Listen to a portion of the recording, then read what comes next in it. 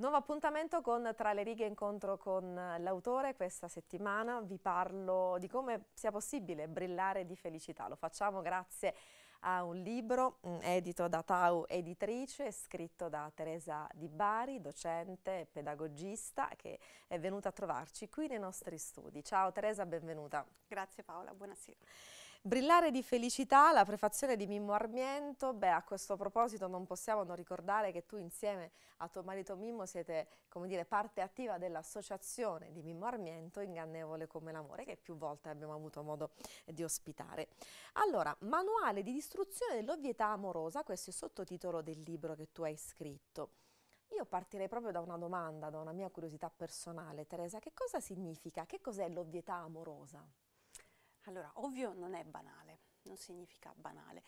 Ovvietà è quando si dà per scontato, si priva del suo valore ogni cosa e soprattutto l'altra persona, nel caso della relazione amorosa.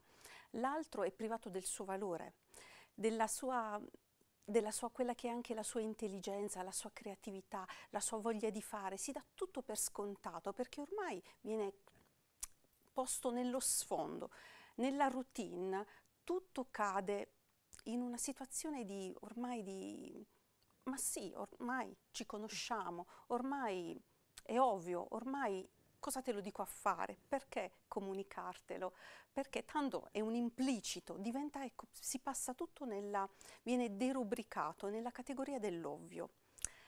Questo nella relazione spegne la vitalità, spegne le energie, spegne la creatività, spegne anche l'impegno non c'è più un impegno um, fatto per scelta, ma quasi per dovere, si va avanti per inerzia. L'amore ormai non, non, tende più a fiorire nella, di, nella dimensione dell'ovvietà, ma si spegne, si affievolisce. Quando tutto è ovvio, tutto diventa monotono, si è fagocitati proprio dalla routine.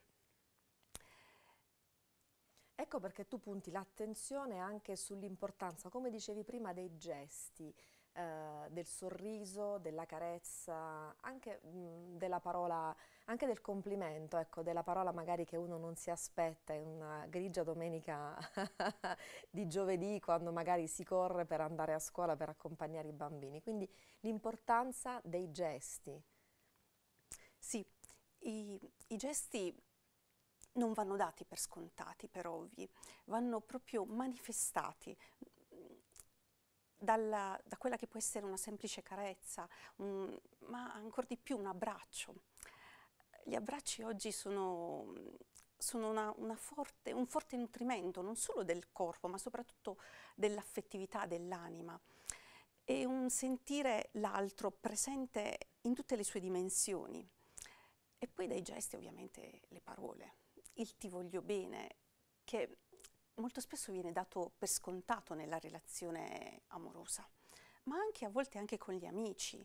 Questa cosa molto bella tra amici, comunicarselo non con quella tra ragazzi, tra adolescenti è molto facile dire ti voglio bene, ti amo, però se a volte lo si dice con quella ovvietà, con quella scontatezza, eh, quasi la parola perde del suo pregnante significato ritornare a, a dirlo proprio con una, con una, profondità, con un'intensità di sentimento che, che dice tutto. Io vorrei un attimo uscire, come dire, fuori dal seminato perché mi ha colpito il fatto che tu abbia dedicato questo libro a tuo padre Salvatore e a tua madre Maria che ti hanno donato la vita su questa terra. Un grande grazie ti hanno donato la vita su questa terra, ma sicuramente è una cosa che penso io, anche quello che tu scrivi in questo libro, anche quello che vivi quotidianamente con tuo marito, un po' lo devi anche a loro, a come loro hanno vissuto la loro relazione di marito e moglie. È così? Sì, a partire ovviamente dalla mia esperienza di figlia, poi di donna, di moglie, di mamma, ma su questo ovviamente si costruisce poi c'è la fase del distaccamento, ovviamente, della desatellizzazione, eh, tutto un processo in cui si riscoprono si valorizzano le forme di amore ricevute, ma se ne scoprono di altre e mm, anche in una dimensione totalmente differente che è la propria. Poi ogni coppia ha la sua identità, quindi si costruisce una nuova identità amorosa di coppia. Ciascuna coppia ha la sua unicità. Infatti a un certo punto io dico riscopriamo le nostre preziosità, cioè ogni coppia riscopra le proprie preziosità, le proprie unicità ed è bello anche raccontarsele perché a volte eh, si dimenticano nel tempo e negli anni, soprattutto se ci sono anni di matrimonio mm. un po' accumulati. Si tende dunque a far questo. Ehm, il libro si intitola Brillare di felicità, bella anche la copertina, questo sfondo color cielo, un cielo notturno, però queste due stelle principali, poi altre stelle che vanno ecco, a illuminare questo cielo. È possibile oggi brillare di felicità, Teresa? Sì, partendo da quello che si è, ecco, senza nulla pretendere, se, come dire, da ciò che ho, partire dal mio cuore, partire dalla mia, dalla mia persona, da quello che sono e, e da lì, nonostante tutto, nonostante ogni cosa, la felicità è una scelta, noi diciamo, ma è una scelta che va al di là della stessa scelta. Prima della scelta stessa abbiamo una scoperta, la scoperta dell'altro, io dico l'altro con la A maiuscola, l'altro che ti pone ad intuire sì, io sono stata generata da mia mamma e da mio papà e a loro devo dire grazie, ma ancora prima intuisco che da un essere finito, sì, può nascere un altro essere finito, ma all'origine, quell'intuizione che è all'origine, io sono originata da un creatore, da un'intuizione di bene che io porto dentro. Ed è quell'intuizione di bene che dice bene di me. Nella libertà mi vuole bene. E quando si scopre di essere voluti bene nella libertà e liberamente da un altro con la maiuscola, eh, si inizia a brillare di felicità. Ma questa, questa scoperta è un'intuizione che tutti possono compiere. Non è un'intuizione relativa soltanto a chi è credente, è un'intuizione alla portata veramente di ogni essere umano, perché è intrinseco in ogni essere umano, proprio è nel nostro DNA comprendere che non ci siamo fatti da soli. È così quanto l'esperienza all'interno di Ingannevole come l'amore ti ha in un certo senso ecco, anche aiutato a mettere nero su bianco, a raccontarti in questo libro, perché in questo libro c'è anche molto di te, tra le righe però c'è sì. molto di te. È un percorso, un percorso di crescita, di formazione e senz'altro questo, questo percorso all'interno dell'associazione eh, mi ha aiutata ulteriormente a crescere sotto tutti i miei aspetti, sotto tutte le dimensioni. E, ehm, sì, relazionarsi non soltanto con, con, chi è in cammino è davvero una, una ricchezza ed è un'ulteriore opportunità di crescita. Camminare in un'unica direzione verso il miglioramento di sé e degli altri è, non può essere un meraviglioso benessere per l'anima, per il corpo, per la società. Eh, ci sono davvero tanti spunti di riflessione in questo libro.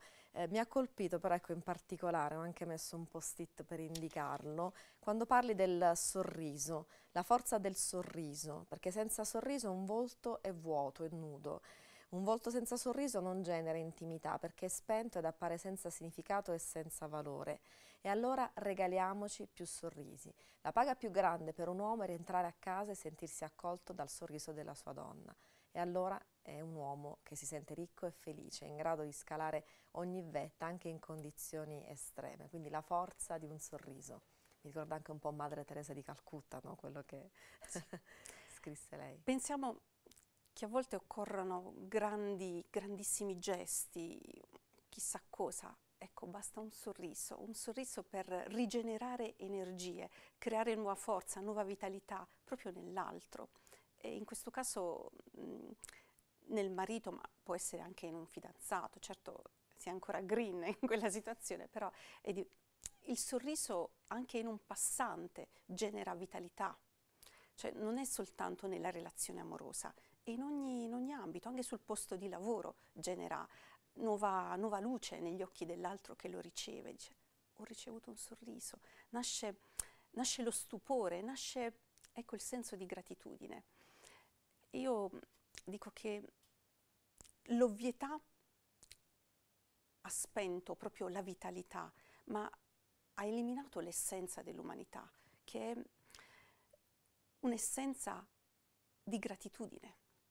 Ecco, eliminare l'ovvietà e scoprire il dono e con esso la gratitudine, perché nella gratitudine c'è felicità.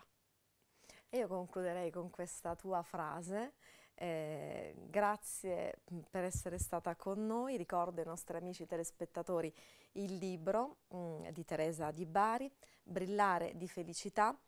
Manuale di distruzione dell'ovvietà amorosa, Tau editrice, la prefazione è di Mimmo Armiento, che salutiamo perché sicuramente poi seguirà questa intervista, così come salutiamo tutta l'associazione Ingannevole come l'amore. Ringraziamo Teresa per grazie, essere stata davvero. con noi. Grazie ancora e grazie a voi tutti per averci seguito. Tra le righe torna come sempre la prossima settimana.